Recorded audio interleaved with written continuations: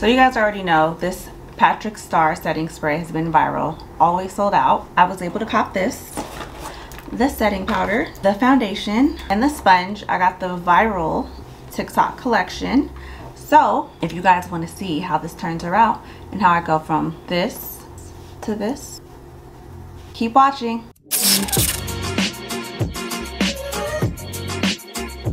Priming the face first. I don't have that primer, so we're gonna use what I got right here, which this is the Milk Primer. This is the one size turn up the base full beat liquid foundation.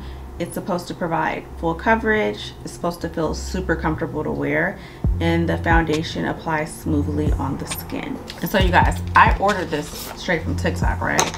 So let's see how I did with the foundation shade. This is the color medium dark 35. So let's see what it's gonna do works for me.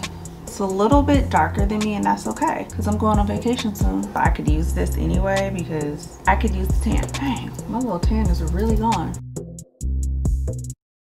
So a little bit of color correcting under these eyes. Let's blend out my little concealer. This sponge is very, very, very soft. I'm just gonna use the sponge in the places where I need a little bit more coverage and it fits the curves of your face really well. I love that. And now for the powder. This is the pink powder, you guys. I've never used a pink powder before, so let's see if that's even a good fit for me. Normally, I would um, just apply it with a wet sponge, but because I've never done pink, I'm not gonna do that. I'm gonna put it in the top and use the little brush I use for that. I'm actually just gonna use like a dry sponge.